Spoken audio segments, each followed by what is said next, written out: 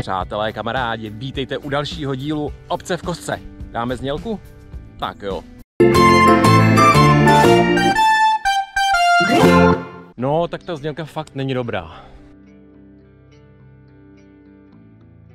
A dnes vás exkluzivně vítám z obce Chobot. Mám takový silný pocit, že tato obec se slonama nemá nic společného.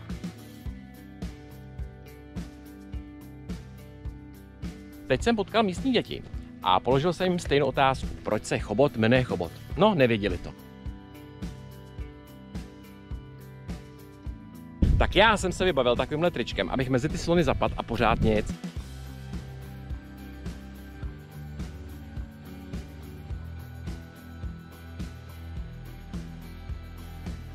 Moje verze, proč se chobot jmenuje chobot, je asi taková. Lidé na Vlašimsku se totiž rodí s velkými nosy. Podle mě je to úplná kravina.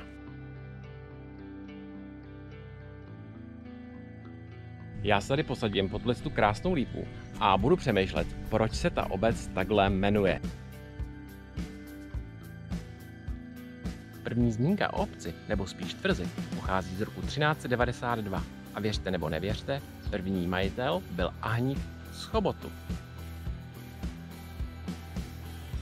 Později si sem dostali vladikové z Ostředka, kteří si říkali chobočtí. Posledním majitelem byl Vilém Chobotský z Ostředka a ten je pochován v Chotýšanech.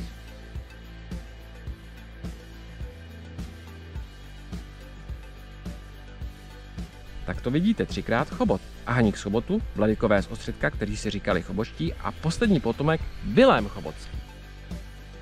Proto se Chobot jmenuje Chobot této obci, nebo spíš u této obce, probíhala také těžba antracitu.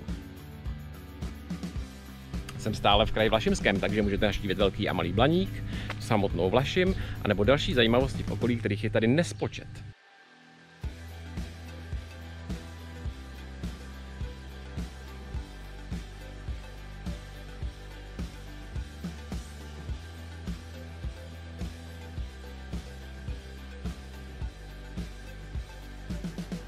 No a to je z dnešního videa vše a pokud se vám video líbilo, dejte mu like nebo odběr a někdy zase ahoj.